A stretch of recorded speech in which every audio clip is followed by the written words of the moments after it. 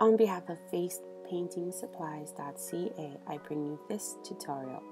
You can find all of these products here at facepaintingsupplies.ca.